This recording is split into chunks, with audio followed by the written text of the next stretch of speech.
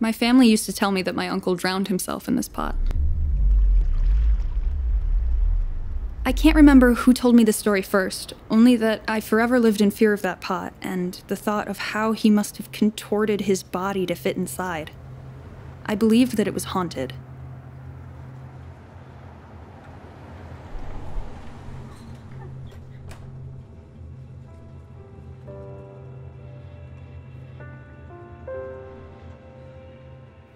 When my parents gave it away, none of my siblings wanted it.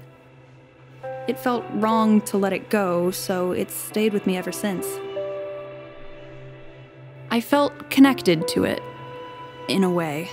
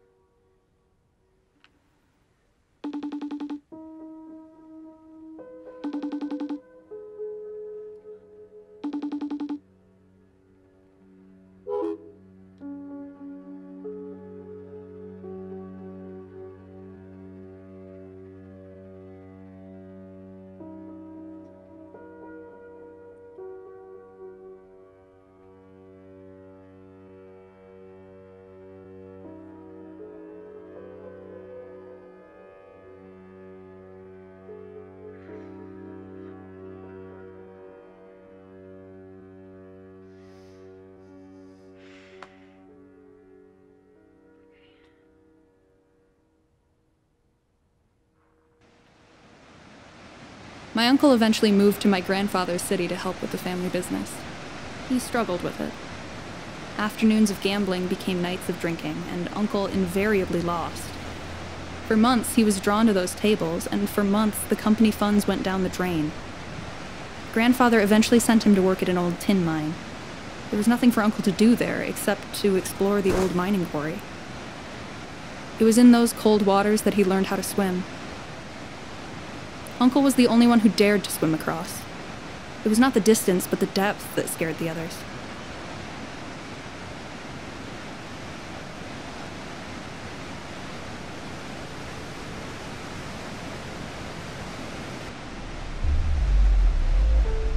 The rumors were that not only would you drown, but you would be swallowed.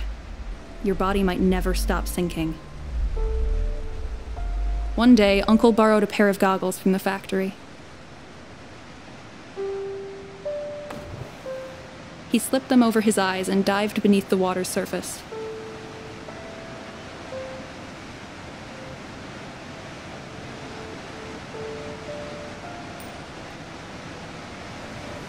For whatever reason, Uncle became obsessed with reaching the bottom.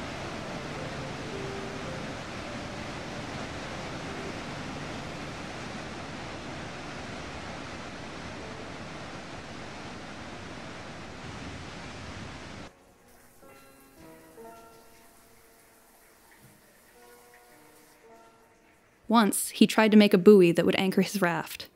He tethered an empty oil drum to it with a rock for ballast, but he misjudged the weight.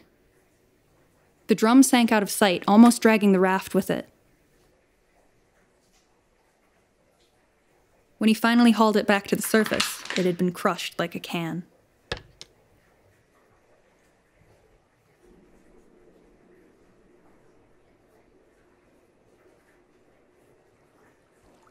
He reasoned that some large, malevolent water spirit was responsible and that it lay curled at the bottom of the quarry.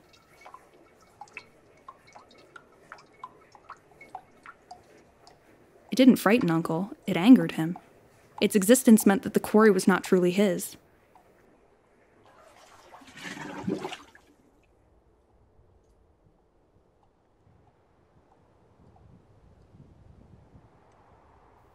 One day, so that the quarry would solely belong to him, he decided to catch the creature. He lined a net with stones and glowing lights and let it sink to the bottom.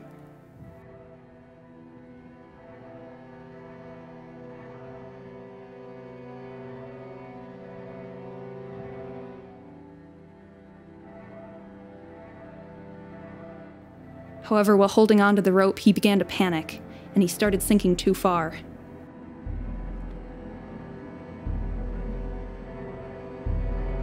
He felt his lungs constrict, and he could no longer tell the stars in the sky from the lights in the net.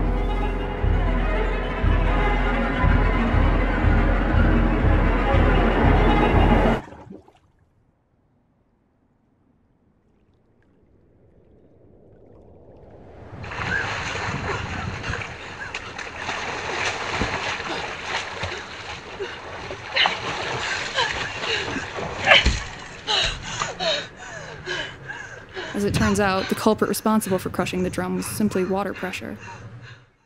He paid for his misjudgment with a burst lung.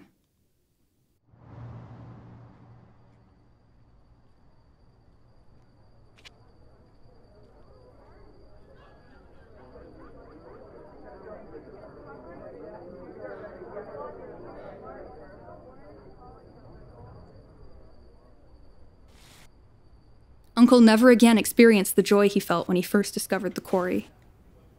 His marriage ended horribly, and he found himself addicted to gambling, owing large sums of money to loan sharks. One day, he filled the pot and climbed inside. Forever. I've since grown out of these supernatural tales, but I've never been able to forget the story of my uncle.